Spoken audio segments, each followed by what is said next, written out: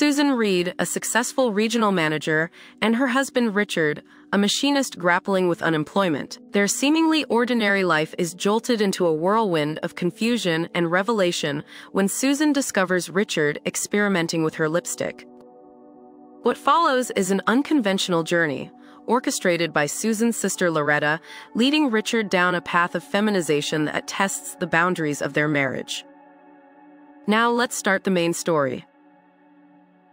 As Susan, I remember that day vividly. It was a mix of the mundane and the mysterious, a day where the misplaced lipstick set off a series of events that were both amusing and perplexing. Standing in front of the mirror, I had to pause and reflect on the dynamics of my marriage with Richard, especially now that he was out of work. His pride and my career success had created an unspoken tension between us. In the office that afternoon, I found myself distracted. The conversation with Loretta about the lipstick bet lingered in my mind. The idea of Richard using my lipstick seemed absurd, yet part of me was curious. Could my organized machinist husband be dabbling in my makeup? It was a ludicrous thought, but Loretta's challenge had ignited a spark of curiosity. That evening, as I prepared dinner, Richard's frustration was palpable. His words about finding a man's job echoed in the kitchen, laden with the weight of traditional gender roles. I couldn't help but respond with sarcasm, suggesting cosmetology. The irony wasn't lost on me, given Loretta's bet. After dinner, as Richard retreated to his thoughts, I quietly made my way to the bathroom. Replacing my usual lipstick with Loretta's tattoo felt like setting a trap in a game I wasn't sure I wanted to play. But curiosity and a hint of mischief got the better of me. The next morning, as I got ready for work, I couldn't help but glance at the lipstick in the drawer.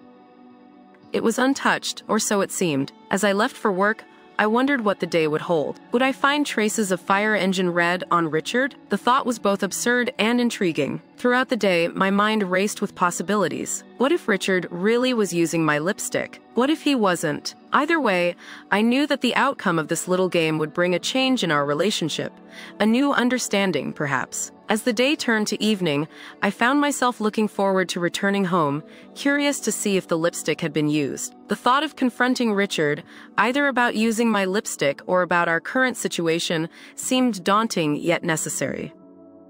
It was clear that this bet with Loretta was more than just about lipstick. It was about confronting the unspoken truths in our relationship. Richard's struggle with unemployment and my career success had created an unspoken chasm between us. The misplaced lipstick, as trivial as it seemed, had become a symbol of the unaddressed issues in our marriage. I arrived home that evening with a mix of anticipation and apprehension. As I greeted Richard, I scrutinized him for any signs of the bright red lipstick. There was none, but that didn't mean anything definitive yet. Dinner passed with the usual small talk, but underneath, my mind was buzzing with the day's peculiar mission. Later, when Richard was engrossed in his own activities, I sneaked into the bathroom.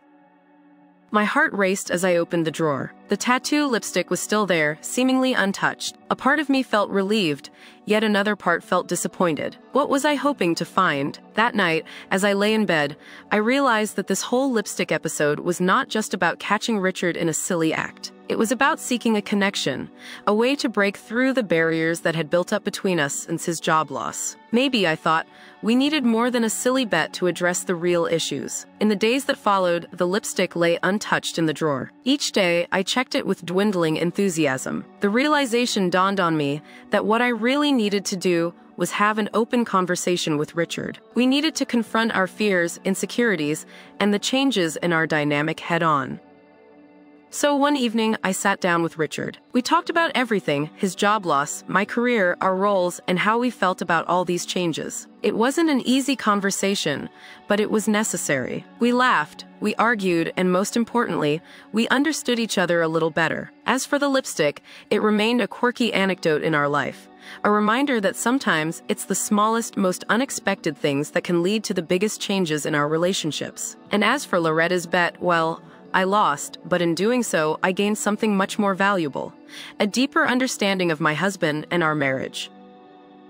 As Susan, I recall that period with a mix of emotions. Each day seemed to bring its own set of challenges, both at work and at home. The lipstick saga, though trivial in the grand scheme of things, had become a curious subplot in the narrative of our lives. That morning, as I meticulously applied my own lipstick, the thought of swapping it with Loretta's tattoo lipstick crossed my mind, but a part of me hesitated. What was I really trying to prove? If Richard was indeed using my lipstick, what did that mean for us? And if he wasn't, then was I just creating unnecessary drama?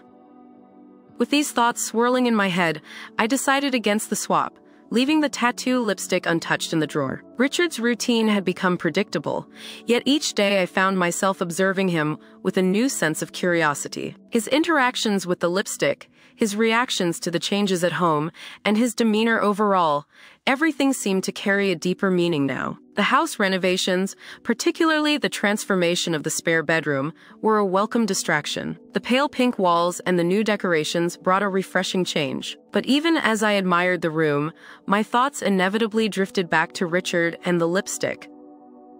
Dinner that night was a quiet affair. Richard's culinary skills had always been a source of comfort, and his breaded pork chops with milk gravy were no exception. As we ate, I contemplated telling him about the lipstick, but something held me back. Was it fear of what I might discover?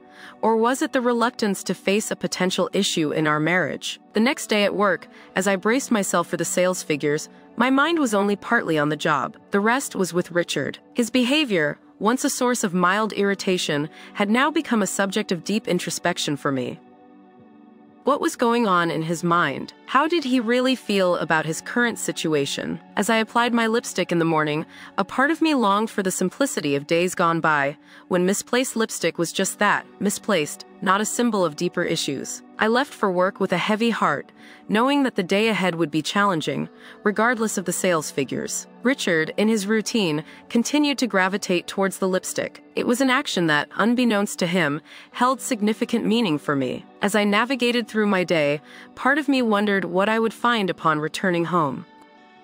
Would there be any telltale signs of Richard using the lipstick? And if so, what would that mean for us? As the protagonist of this story, I was caught in a web of emotions and uncertainties, each thread leading to more questions than answers. The lipstick, once a mere accessory, had become a symbol of the unspoken and unresolved in our marriage. And as the day drew to a close, I knew that soon, one way or another, I would have to confront the situation head on. The uncertainty was becoming unbearable, and the need for clarity was paramount. Returning home that evening, my mind was preoccupied with the sales figures and the situation with Richard.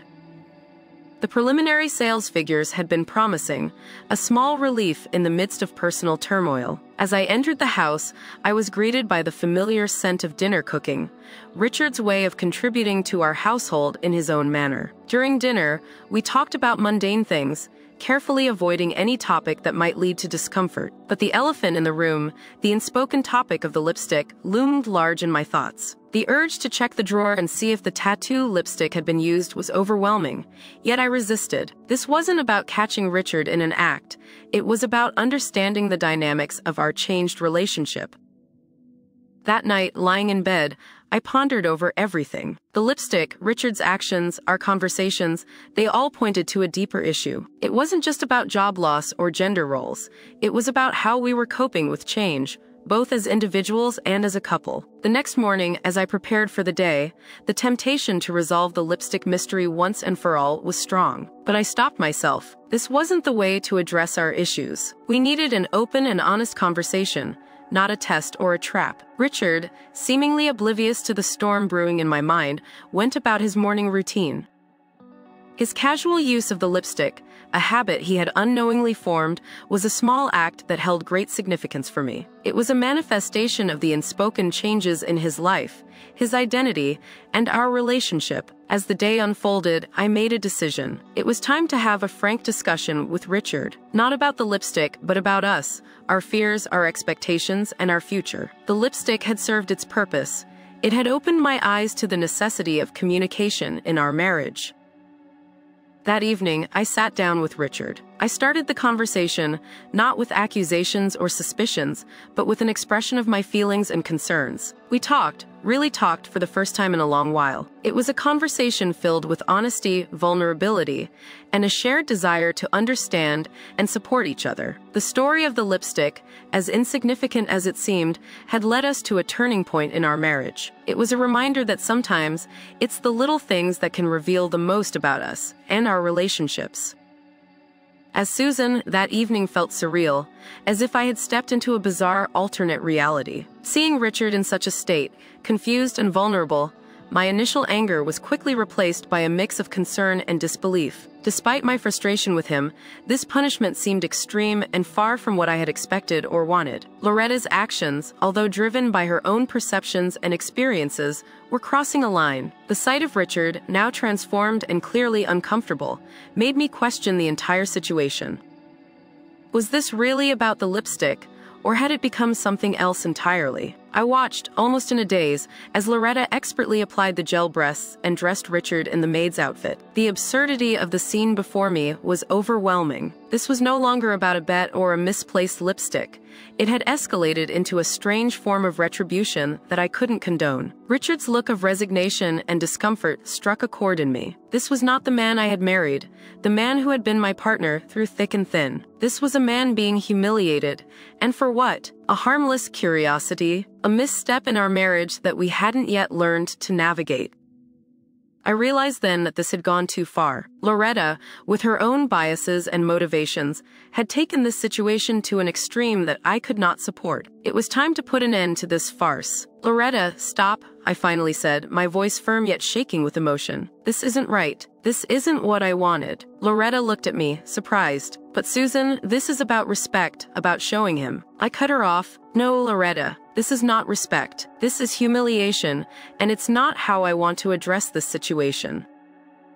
Turning to Richard, I saw a mix of relief and confusion in his eyes. Richard, I'm sorry. This went too far. I never wanted this. Richard, still in the maid's outfit, looked at me with a vulnerability I hadn't seen before. Susan, I, I don't know what to say. I approached him, my heart heavy with regret. Let's talk, Richard. Just you and me. We need to figure this out, but not like this. Not with punishments or dares. We need to communicate, to understand each other. Loretta, realizing the gravity of the situation, quietly packed up her things and left, leaving us alone. That night, Richard and I talked. We talked about everything the lipstick, his job loss, our roles in the marriage, and how we felt about each other. It was a difficult conversation, but a necessary one. We both had made mistakes, assumptions, and missteps. But through honest communication, we began to see each other's perspectives and challenges. The lipstick, which had started as a trivial matter, had opened the door to a deeper understanding between us. It was a turning point in our marriage, a reminder that empathy, Communication and respect were key to navigating the complexities of our relationship. As we moved forward, we knew there would be more challenges, more misunderstandings. But that night, we made a commitment to face them together, with honesty and an open heart. The story of the lipstick had ended, but our journey as a couple was just beginning anew, with renewed understanding and a stronger bond. As Susan, I stared at the figure standing before me, a mixture of disbelief and shock coursing through me. It was Richard, yet not Richard, transformed into this character, Barbette, by Loretta's relentless drive. The sight was jarring, a stark reminder of the absurdity that this situation had spiraled into. Loretta's satisfaction was evident, a sharp contrast to my own feelings of discomfort and unease. This wasn't what I wanted, not really. The initial anger and frustration I had felt towards Richard had dissipated, replaced by a deep sense of regret and empathy. This was no longer about a misplaced lipstick or a bet. It had become a humiliating spectacle that had gone too far. Richard, I began, my voice barely above a whisper, I, this isn't right. The words felt inadequate, but they were a start. This has gone too far. I never wanted this. You don't have to do this. But Richard, or Barbette as Loretta had named him, stood there, a look of resignation in his eyes. It was clear that he felt trapped, bound by his word to Loretta and perhaps by his own sense of failure. Loretta interjected, Come on, Susan. It's just a bit of fun. Give it a chance. You wanted a maid, and now you've got one. Her words stung, a harsh reminder of the casual comment that had led to this bizarre turn of events. I realized then that this was no longer about what I wanted or didn't want. It was about Richard's dignity, our relationship, and the respect that we owed each other as partners. Enough, Loretta, I said firmly. This isn't fun, it's demeaning, and it's not how I want to resolve things with Richard. I turned to Richard, reaching out to him. Please, let's talk about this. Just the two of us. We need to sort this out together without these games and punishments. Richard looked at me, his expression a mix of confusion and relief. Susan, I, I'm sorry. I don't know what I was thinking with the lipstick. But this, this isn't the way. I nodded, my heart heavy with the realization of how far things had gone. I know, we both made mistakes. But we can fix this, together. We don't need costumes or dares to do that. Loretta, sensing the shift in the room, collected her things quietly. I'll leave you two to talk, she said, a hint of remorse in her voice. As she left, Richard and I sat down, beginning the long process of unpacking everything that had happened. It was a difficult conversation, filled with admissions, apologies, and a shared desire to rebuild what we had lost in the chaos of recent events. The story of the lipstick, which had started as a trivial incident, had revealed deeper issues in our relationship, but it had also provided us with an opportunity to address them, to communicate openly and honestly, and to reaffirm our commitment to each other. As we moved forward, we knew there would be more challenges, but we also knew that we had the strength and the love to face them together, as partners, with respect and understanding. The story of Barbette would remain a strange chapter in our lives, a reminder of the importance of communication, empathy, and the value of preserving each other's dignity, even in the most trying of times. In the days that followed, Richard and I worked on rebuilding the trust and understanding that had been strained. We talked more, not just about the events that had transpired, but also about our hopes, fears, and dreams for the future. We acknowledged the need to be more open with each other, to share our feelings and concerns before they escalated into misunderstandings. The lipstick, once a symbol of discord, had become a reminder of the importance of paying attention to the small things in our relationship, those seemingly insignificant details that can speak volumes about underlying issues. As for the maid outfit and the persona of Barbette, they were put away, a bizarre memento of a time when things had gone awry. Richard and I agreed that while we could look back on this episode with a mix of disbelief and learning, it was not something we wished to revisit. Our journey was not without its bumps, but each challenge brought us closer, teaching us more about each other and about the resilience of our bond. We learned to laugh together again, to find joy in the simple moments, and to appreciate the strengths and quirks in each other. The story of the misplaced lipstick had taken us on an unexpected journey, one that tested our relationship in ways we never imagined. But it also brought us to a place of deeper understanding and love, a testament to the power of communication and empathy in navigating the complexities of marriage. As we moved forward, hand in hand, Richard and I knew that our story was far from over. It was just another chapter in the ongoing tale of our life together, a tale filled with love, learning, and the unending journey of partnership. As Susan, I could feel the gravity of the situation sinking in. What had started as a misguided attempt to address a marital issue had turned into something that felt uncomfortably close to real humiliation. Despite the initial sense of power and control, I began to feel a growing unease with the way things were unfolding. Richard, now Barbette, was dutifully playing his part, but the look in his eyes was one of resignation and discomfort, not the playful complicity I had initially imagined. The reality of the situation was far from the light-hearted reprimand I had envisioned when I first found out about the lipstick. It was becoming increasingly clear that this charade was neither healthy nor productive for our relationship. The transformation from Richard to Barbette complete with the maid outfit, makeup, and high heels, was meant to be a temporary lesson, a playful way to address a serious issue. However, it was now bordering on a serious infringement of his dignity. The more I observed him, the more I realized that this was not the solution to our problems.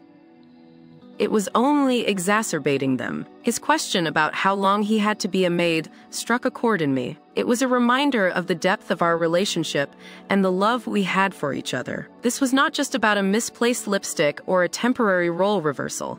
It was about respect, communication, and understanding in our marriage. As I watched him navigate the chores in his high heels and maid outfit, a part of me wanted to end this immediately, to apologize and work towards repairing the damage. Yet another part of me was caught in the momentum of the situation, unsure of how to gracefully exit the scenario we had created.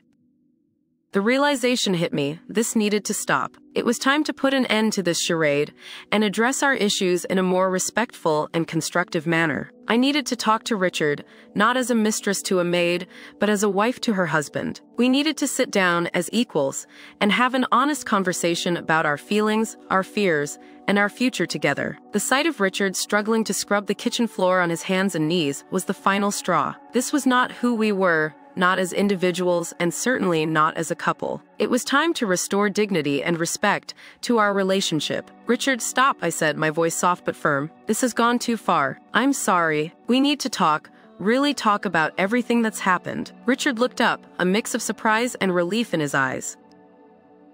Susan, yes, I replied, helping him to his feet. Let's get you out of this outfit and sit down to talk. We need to figure out how we got here and how we can move forward together. As we sat down at the kitchen table, the absurdity of the past few days began to sink in. The maid outfit, the makeup, the role playing, it all felt like a strange dream, far removed from the reality of our loving, albeit complicated marriage. Richard, I'm sorry, I began, my voice laden with remorse. This started as a way to address a problem, but it turned into something hurtful.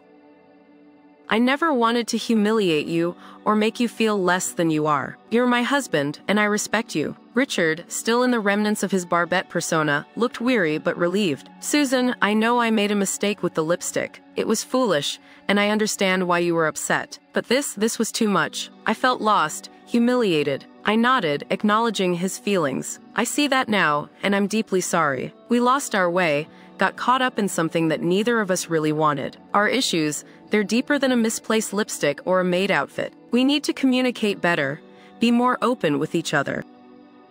The conversation that followed was long overdue. We talked about Richard's job loss, my career, and how these changes had affected our relationship. We discussed our fears, our insecurities, and our desires for the future. It was a raw, honest exchange, sometimes painful, but always necessary. As the conversation unfolded, it became clear that our love and respect for each other were still strong. We had simply allowed external pressures and unspoken grievances to create a rift between us.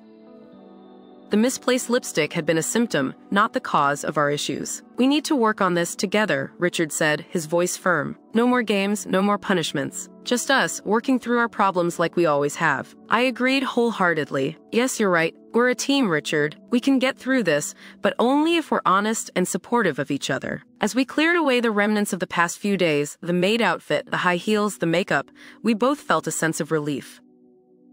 It was like shedding a weight we hadn't even realized we were carrying. In the days and weeks that followed, Richard and I worked hard to rebuild our relationship. We sought counseling to help us navigate our communication issues and to find healthier ways to address our problems. We rediscovered the joy in our marriage, finding new ways to connect and support each other.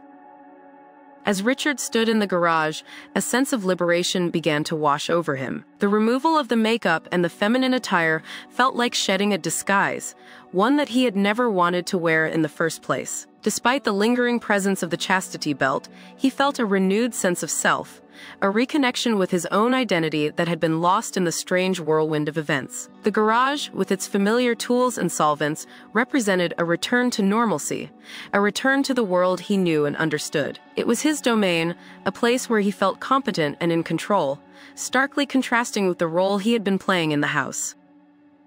His thoughts drifted to Susan and their relationship. Despite the recent upheaval, his feelings for her remained unchanged. He loved her, but he knew they needed to address the issues that had led to this bizarre situation. The role-playing, the lipstick, the maid outfit, they were all symptoms of deeper problems in their marriage that needed attention. Richard realized that communication was key. He needed to talk to Susan openly about his feelings, about the humiliation and discomfort he had experienced, and about their relationship going forward.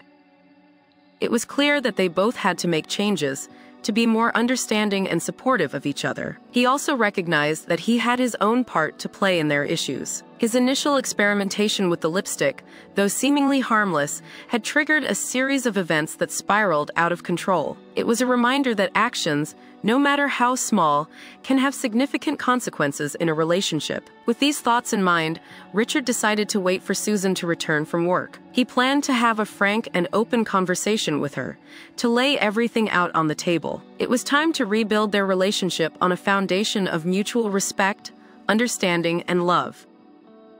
As he waited, Richard busied himself with organizing the garage, finding comfort in the familiar task. It was a way to clear his mind, to prepare for the important conversation that lay ahead. He knew it wouldn't be easy, but he was determined to make things right, to restore the balance in their marriage. When Susan finally returned home, Richard was ready. He greeted her with a sense of resolve, a determination to put an end to the charade and start anew. Susan, he began, we need to talk about everything that's happened, about us. I know I've made mistakes, but the way things have been these past few days, it's not right. We're better than this. Susan, sensing the seriousness in his voice, nodded. You're right, Richard. Let's sit down and talk. We both have things we need to say. And so they sat down together. Two people who had been through a strange and unexpected journey, ready to face the challenges of their relationship head on. It was a conversation that would mark the beginning of a new chapter in their lives, one based on honesty, respect, and a renewed commitment to each other. As their laughter echoed in the cozy ambiance of the supper club, Richard and Susan found themselves reconnecting in a way they hadn't in quite some time. The absurdity and trials of the past few days had, in an unexpected twist, brought them closer. They had navigated through a bizarre and challenging episode, emerging with a deeper understanding and appreciation for each other. As they finished their meal, the conversation flowed easily, filled with shared jokes and tender glances. It was clear that their bond had been strengthened, not just in spite of the recent events, but perhaps because of them. On the drive home, Susan's suggestion about occasionally revisiting the role of Barbette lingered in Richard's mind. He understood that it was more than just a quirky request. It was a reflection of Susan's need for a certain kind of comfort and escapism, especially after a taxing day. Agreeing to this, albeit with boundaries like doing it only on Tuesdays, was a testament to his love for her and his willingness to support her in unconventional ways. When they arrived home, the anticipation of Loretta's reaction brought a sense of playful conspiracy between them. It was a far cry from the tension and misunderstanding that had clouded their relationship just a few days ago. As they waited for Loretta, Richard and Susan sat together, talking and sharing in a way that felt both new and familiar. It was as if they were rediscovering each other, finding joy in the quirks and idiosyncrasies that made their relationship unique. Loretta's arrival was met with a mixture of surprise and amusement. Her reaction to seeing Richard back in his regular clothes, confident and relaxed, was priceless. The evening unfolded with laughter and candid conversations, a far cry from the dramatic confrontations of the past. In the end, Richard and Susan's journey through the unexpected chapter of the lipstick and Barbette had brought them to a place of deeper understanding and appreciation for one another. They realized that relationships, like life, are unpredictable and often messy, but facing challenges together, with love and a sense of humor, can make them stronger. Their story, with all its twists and turns, stood as a reminder that love is resilient, adaptable, and often finds a way to flourish in the most unexpected circumstances.